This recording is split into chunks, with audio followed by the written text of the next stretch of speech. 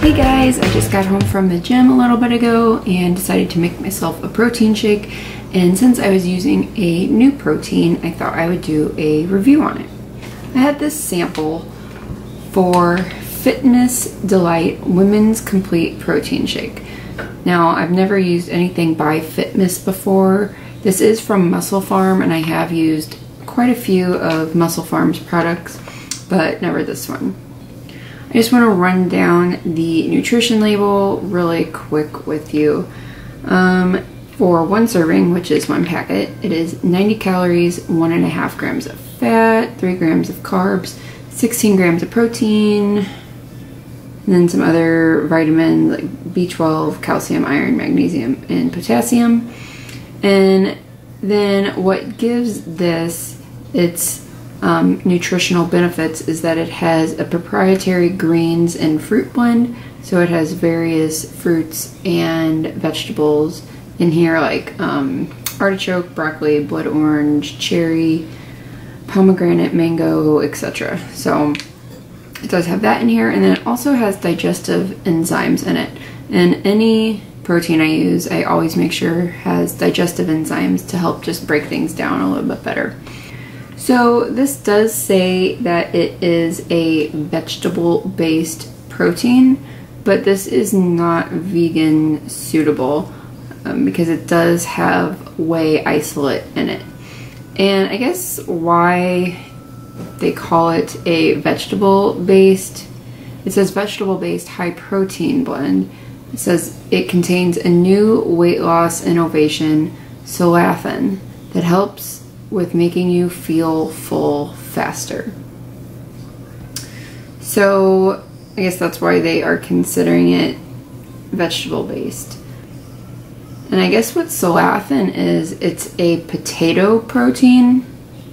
So yeah, that this is the first time I've ever used anything with solathin, at least that I am aware of.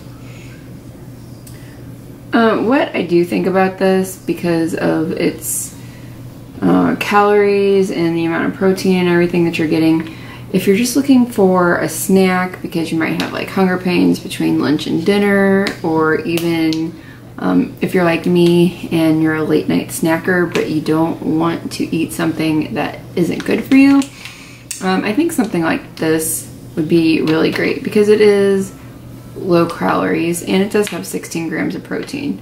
Now, for some people who are looking for a product with more protein for when they're at the gym or if they hit the gym pretty hard, I definitely don't think that this would be um, a great option. But just for like a snack or even a post workout for a light workout, I don't think this would be bad for most people.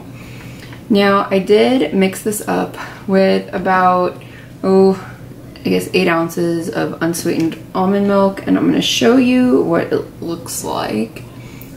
If the camera can see in there or not. Um, it actually mixed up really, really well. The, there was no clumps, no lumps, no anything. Um, this is probably one of the best proteins for mixing that I have seen. Um, the taste, like, oh, I guess I forgot to tell you guys the flavor. Vanilla chai is what the flavor is. I am not a big chai person, so when I saw that, I was like, uh, I was already hating on it. But honestly, it just tastes like vanilla. This tastes like any regular vanilla protein out there. So the taste is actually not bad. Like I could sit here and drink this by itself, no problem. Um, or I could add it into like a fruit smoothie or peanut butter smoothie, whatever I'm making. And I think the flavor would really enhance it. So flavor wise, I am really highly impressed with Fitmiss. Kind of curious to try their other flavors now.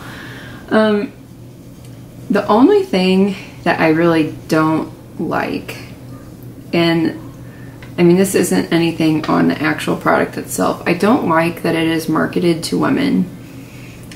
like exclusively um, because clearly a man could drink this and they're not gonna like get cooties from it like i don't know i just have a problem when it says something like Fitmiss like this is just for women well please show me what in here makes this just for women i mean i, I see nothing that is going to solely help women and not men so that really irritates me i mean and that clearly in the colors of the packaging are meant to target the women consumers out there.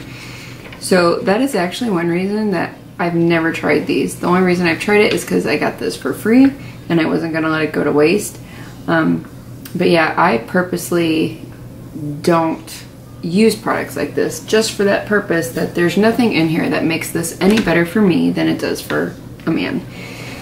Uh, it is I understand that it is lower calorie and there is not as much protein in it and I know a lot of men that are working out typically are wanting something with more protein in it or with um, an amino acid profile or something of that nature but for guys out there that are looking for something that is low calorie but contains protein I think this is a good option. Because, you know, there are also women out there that are looking for higher protein things too, so this wouldn't be an option for them. Now I just feel like I'm going off on a rant and I'm sorry about that, but this does just kind of irk me.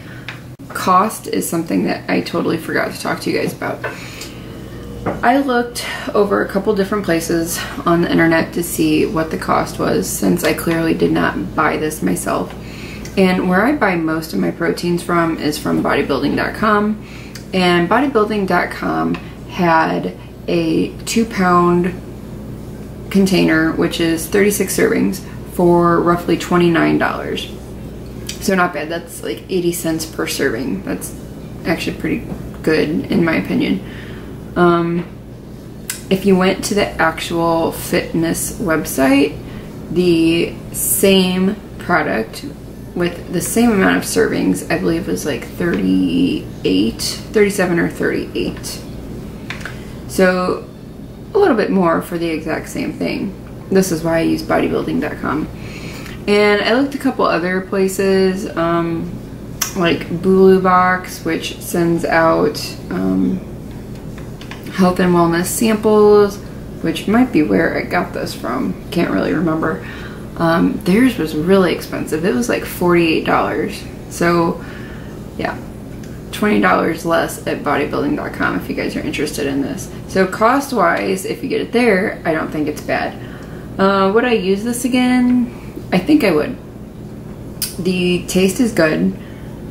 It is low calorie but I wouldn't use this all the time. It just depends on what I'm needing. Like this would be great if I'm at home and just mixing up a smoothie as a snack. I just wish they would change their packaging, but whatever. Anyway, if you guys have any questions or comments, just feel free to ask. And thank you all so much for watching. If you're interested in seeing any of my other reviews, I will link those down below. See you next time. Bye.